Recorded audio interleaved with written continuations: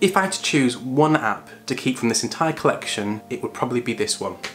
Hi, I'm Mark and I'm all about psychology, tech and productivity and today we're firmly in the tech and productivity space. I'm going to be sharing a bit more about how I've set up my second brain and the five tools I use to make sure I don't forget anything. And so first question then, second brain, what am I talking about? This is a term coined by Tiago Forte who actually runs courses to help people develop this kind of system for themselves. The general idea is that our brains are not designed to hold vast amounts of information and are better utilised to solve problems. So our task in terms of being more productive and optimising our brains to do what they're designed for is to find alternative ways of holding on to all that information. In this video, we're going to be covering all the tools that are really important to me that help me take notes, manage tasks, remember passwords, and curate everything that's important to me to find when I need it most. But first of all, my note-taking app of choice. Now, somewhere through the pandemic, I made the decision to go from a regular physical notebook and a pen for taking notes on the go to a fully digital solution. And for that, I've been using my iPad Pro with the second gen Apple Pencil, along with an app that I use pretty much every day and there are a ludicrous number of note-taking apps available on the App Store. And I've tried a few of them. Uh, special mentions go to Apple's own Notes app, which has had some really useful upgrades lately, as well as Notability, Moleskine, and Nebo. But the one that I much preferred was GoodNotes 5. So GoodNotes allows you to set up a kind of limitless number of notebooks for different parts of your life. So for example, I have one that I use for work notes and meetings another for my coaching clients, and another general scribble pad for ideas that I have on the go that need capturing, and so on. It also allows you to pull in PDFs to be annotated and kept as a separate document, or you can embed a PDF or an image as part of an existing notebook. So this feature can be really helpful for going through a report or document and annotating it before sending it back to some colleagues, or maybe you need to sign a contract without having to print and scan uh, using the old-fashioned method. It's a great way of moving to a fully paperless setup. As with most note-taking apps, you'll find really good handwriting recognition here, and you can even search your notebooks based on typed or handwritten text, which is really cool. Now there are tons of personalization features too, so you can customize the look of your notebook covers, as well as the kinds of pages that appear in them. And you can add stickers or images to your notes to make them stand out. And if you use any particular visual systems in your note taking, such as bulletproof journaling, you'll find lots here. So my killer feature with this app is the ability to index your notes for quick search and recall. So one of the things I used to use in my physical Leuchtturm notebooks was their indexing feature, but to set this up was really time consuming. But with GoodNotes, you can bookmark any page to your index with just one button, and you can give it a custom name to make sure you know what it is if you need to find it. So GoodNote is available for Mac, iPad and iPhone, and it syncs across all your devices. It's a one-off charge of just £6.99 or $7.99, which is a bargain. Now, if you have an iPad and you want to switch to paperless note-taking, this is a must-have. So let's move on to passwords. Now, if I had to choose one app to keep from this entire collection on my phone, it would probably be my password manager. I don't mind admitting that there was a point in time where I probably would use one of three passwords on every website I used. They were easy to guess, very easily hackable, and I'd use them just randomly anytime I needed to set up a new login. And the world we live in requires us to be really vigilant about keeping unique, unbreakable passwords with combinations of letters and numbers and symbols but the challenge is finding a safe and secure place to remember them all.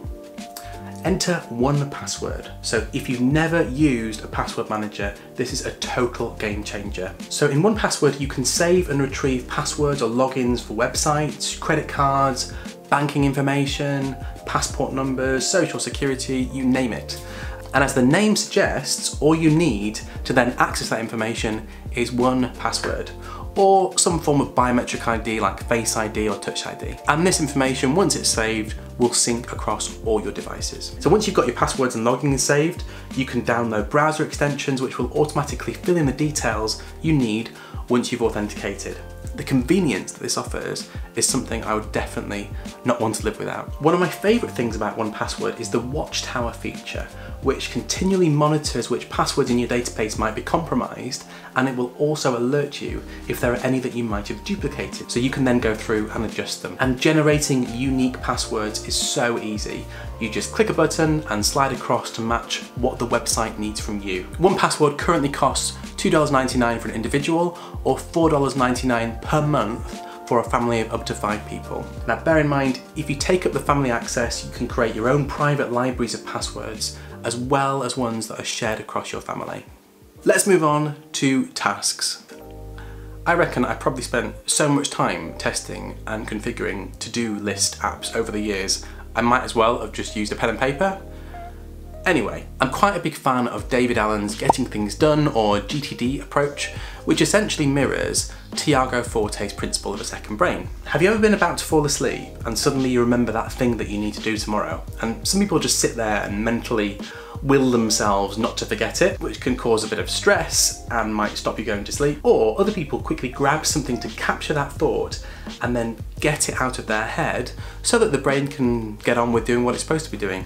Capturing it and then later sorting it is one of the founding principles of GTD. So for some people that capture tool is post-it notes, like physical notebooks or things like audio memos, and for me, I much prefer a dedicated task manager that lives on my phone and I can access wherever I need it. Now there are loads of task management apps. I've probably tried most of them over the years, including OmniFocus, TickTick, Todoist, Apple's Reminders, Microsoft To Do, by far and away, my favourite, particularly for those who are invested in Apple's ecosystem, is Things 3. Things has a beautiful minimal, uncluttered interface which gets out of your way and allows you to then capture the important tasks as they arrive.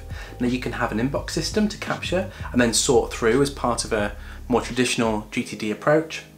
And then you can also have recurring tasks or projects which might be made up of lots of mini tasks and all of these sync across your Apple devices. One of the principles of GTD is that whatever you're using as a capture device must be something you trust entirely. And Things 3 is something I've really grown to trust and in many ways I run my life by it. I trust it more than pretty much any other tool to capture and then be able to action the tasks that are really important to me. The only downside I would say with this app is that it is pretty costly. You have to pay a separate fee for each device that you use Things 3 on. So the iPhone app is $10, the iPad app is $20, and the Mac app is $50. So once you've paid this cost, you can have your tasks sync across multiple devices. In practice, this works really well and is incredibly efficient.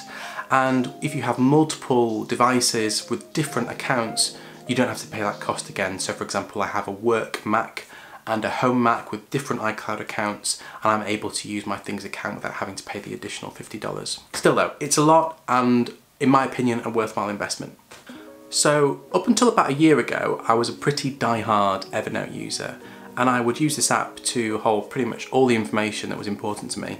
And this was the tool in my second brain that I would use to curate all of the important information that I didn't absolutely need to keep a hard copy of. And whilst it wasn't perfect, I thought I would be an Evernote user for life. And then I discovered Notion.